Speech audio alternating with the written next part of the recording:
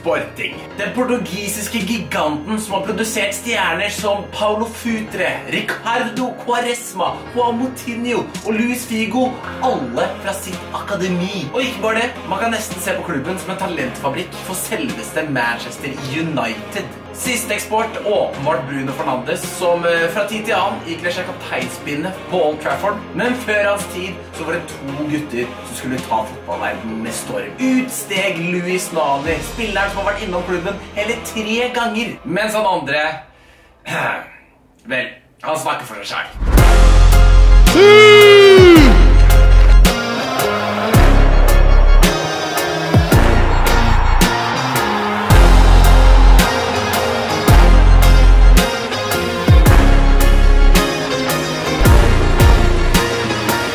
Selv den dag i dag, 20 år senere, at portugiseren Cristiano Ronaldo ikledde seg 28 bakpå sportingdrakta si, så gjør fansen det samme. Men i min bok så er det en som er så mye større, så ekstremt mye større. Og nei da, altså, Messi er god, han, men spiller klippet en gang til, da. Hvem er, hvem er neste stjerne her? Det er helt riktig. Mannen som blir dratt av. Ektor Behrin.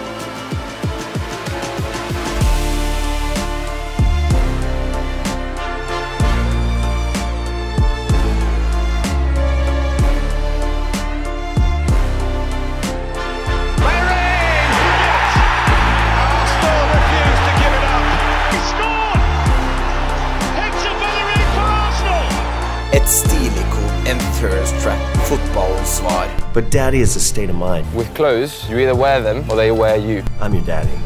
It's all about the confidence. på Pedro Pascal. Og akkurat når det så ut som at han skulle bli Arsenals nye kaptein, så skjer det som ikke skal skje.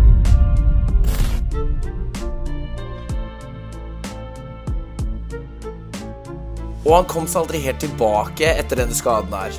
Ja, han vant et cupgull med Real Betis før han tok turen hjem til Barcelona sesongen etter. Men kan han hente inn karrieren sin igjen? Det får vi se i Lisboa. For Beirin han er på nok et låneopphold, denne gangen på San José Alvalade Stadium. Og hvem møter de grønnkledde portugiserne i første utslagsrunde i Europaligaen? Selvfølgelig ble det gamle klubben til Hector og min kjærleik Arsenal. Så dere har backstory nå. Jeg skal til Portugal for å se min favorittspiller spille mot mitt favorittlag. Det høres bra ut, Sander. Hæ? Strålende. God tur.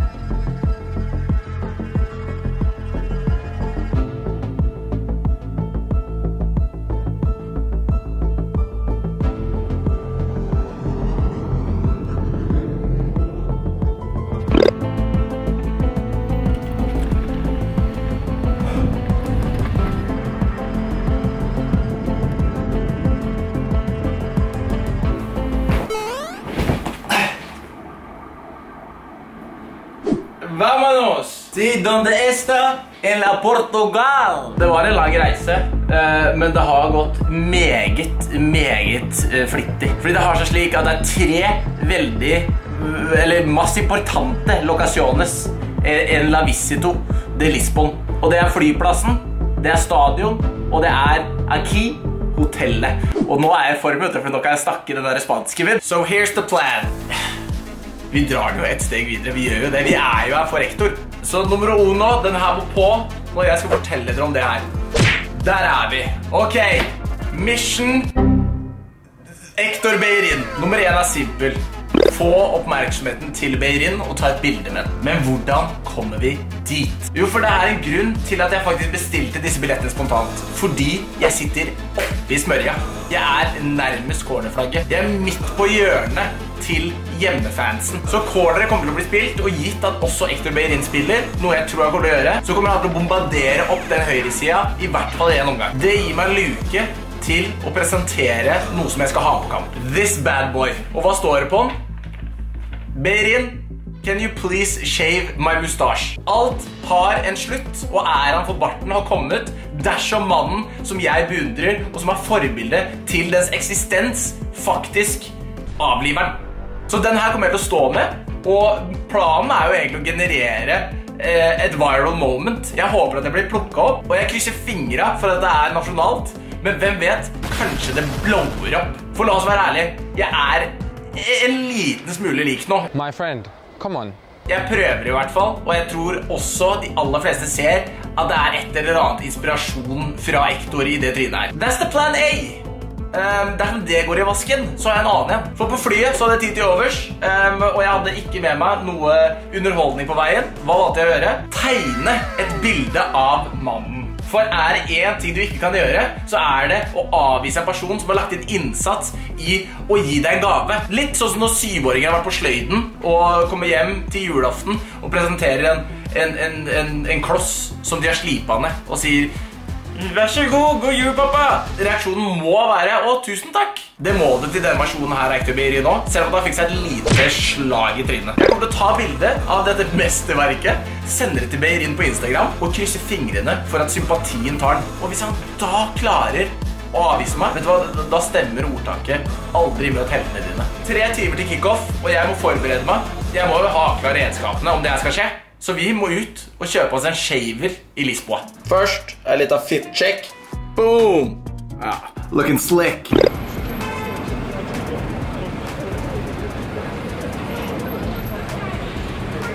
Grunnen til at jeg ikke kan gå med Arsenal-drakt, det er fordi jeg er livredd. Det er sporting overalt. So I have a little project today. Can you tell me where the, the closest like superstore, supermarket, a place where you can buy a racer? You can buy a racer inside of the stadium? Yeah. Yes, in the Lidl. On a scale from 1 to 10, how much do I look like activated? Beirin? Bellerin? Yeah. Yeah, yeah. You're his brother. do you think it can happen? No. Fair enough, fair enough. Jeg tror vi er under stadion. Nei, det er på utsida. Jeg dro til Lisboa for å kjøpe Gillette. Den beste get. Utrolig random, men jeg fikk 20 euro på flyet. Jeg måtte basically betale for en fyr, og så fikk jeg 20, og så kostet det egentlig 18, så det win is a win, og jeg fikk barberhøvel, så det er happy. Syk setning. Perfect, perfect. Thank you very much. Gracias. Obrigado. Jeg må kamuflere meg samtidig som at jeg viser litt patriotisme for Arsenal. Altså, jeg er en Hafenhav-fyr, sånn egentlig. Så det her passer meg helt utmerket. Og nå er man kanskje på det stadiet der dere begynner å tvile på meg som supporter og sånn. Bare piss off. Det er en drakt, og det er en skjerf. Og apropos drakt. Jeg er alene på tur. Det er utrolig mye sporting. Eh, veldig lite Arsenal. Jeg er dønn alene. Jeg har ikke lyst til å bli stabba. Så jeg vurderer å gå til anskaffelse. Og dra på helt 100 Sporting undercover. Jeg kan ikke bli merka som en Arsenal-supporter. her. Det er sidequesten min. Men so far, so good. Jeg, jeg, har, jeg har veldig troa, jeg. Det er veldig grønt her. De har fullført tematikken. Jeg vet ikke liksom, om man får samme opplevelse av å være på Wolfsburg og Verde Bremen og Jo, shit! Jeg har vært på Verde Bremen, jeg. Du fikk ikke samme opplevelse. Det var ikke like grønt. Og så har det liksom en sånn Bislett track på utsida her, så det er jo en vibe. Og apropos flyplass.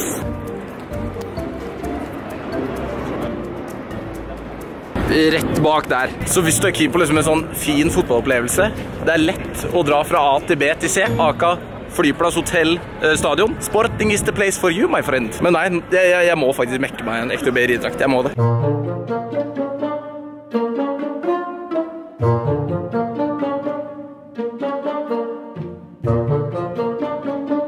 Her er vi. Jeg driter i den her. Den er lame. Jeg vil gå for enten den eller den. Og jeg tror det blir den. 90 euro, ja. Ja, det er stiv pris. Men jeg er undercover. Jeg er nødt til å gå undercover. De kan ikke lukte Highbury-blodet mitt. Det er som haier. Portugisiske haier, og de er livsfarlige. Finner jeg en. Klinke medium. Nice. Bag secured. Are you his uh, cousin or something? Are you? We have some similarities, Yeah, right? yeah. Thanks, guys. Thanks. I've, I've been dying to get a reaction. Like, okay. I told him that um, that his brother came here, Yes. but I don't even know you. But the thing is, I, I, I, I really, I really hope that that will happen, and I have this as well. So I, I'm ready for it.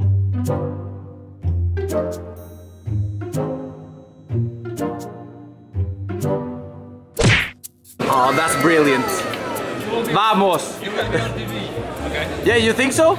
Bak her så står gutta. Det er mine egne som jeg nå skal svike, men alt for saken, og jeg står midt uti et ikke gangfelt, men det så trygt ut for to sekunder siden.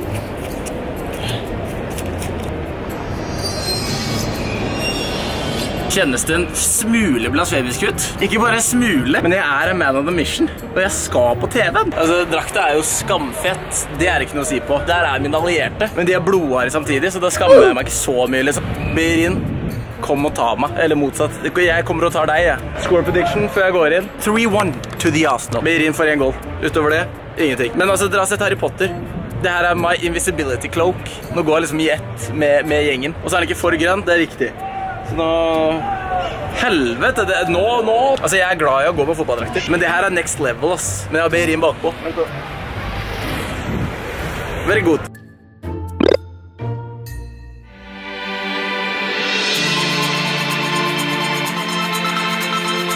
Er tjommen, jo.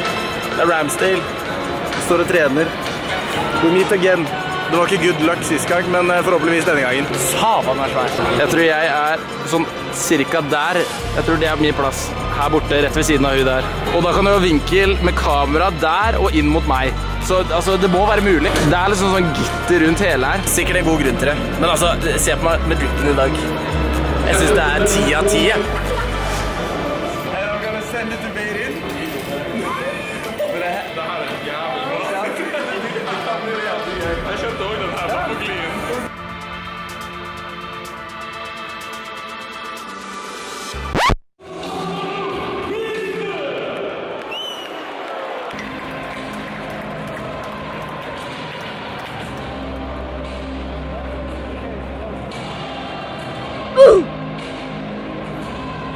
Gitt at også Ektor Behrin spiller, noe jeg tror han kommer til å gjøre, så kommer han til å bombardere opp den høyresida i hvert fall en omgang.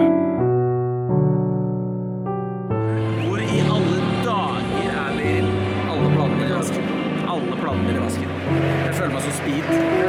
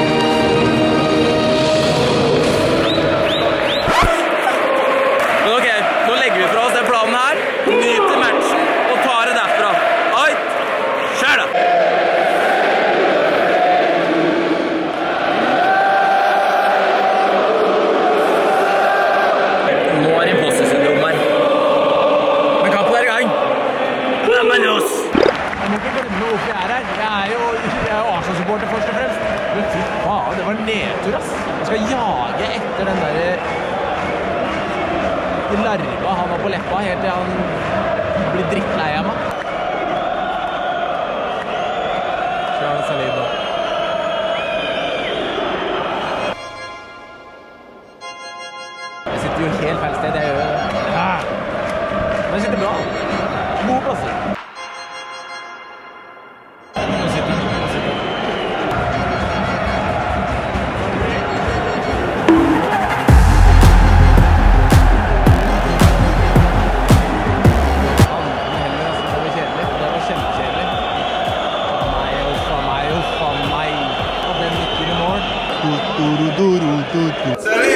Jeg blir jo. Why you bullying me? Jeg må holde så ufyselig lag for å bli.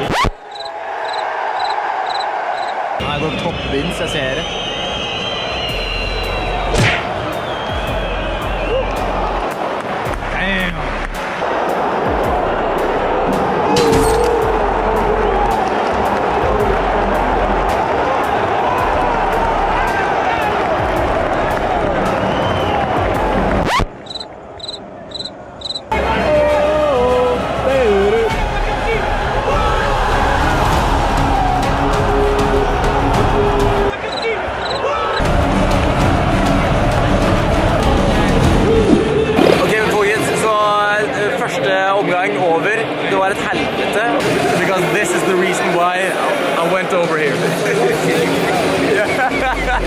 Cap a la dreta per Xavi. Assistència de Xavi més cap a la dreta per Messi, Messi, Messi, Messi, Messi, Messi, Messi, Messi. Immens Messi. Encara Messi, encara Messi, encara Messi, encara Messi, encara Messi, encara Messi, encara Messi, encara Messi, encara Messi, encara Messi, encara Messi, encara Messi, gol! Der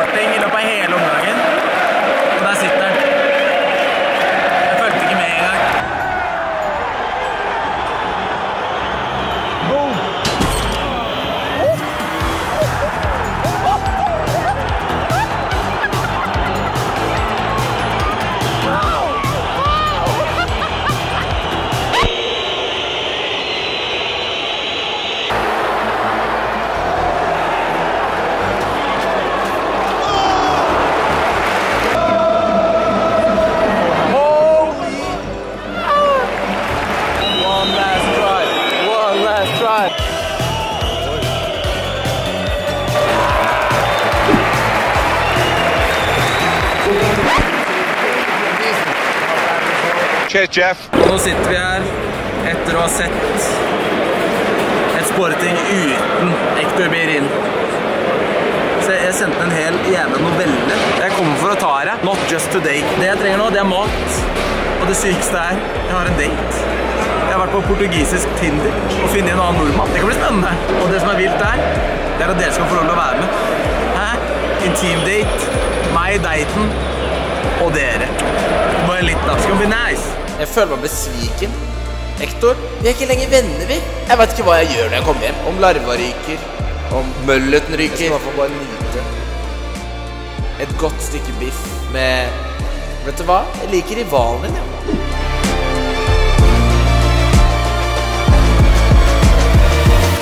Ja.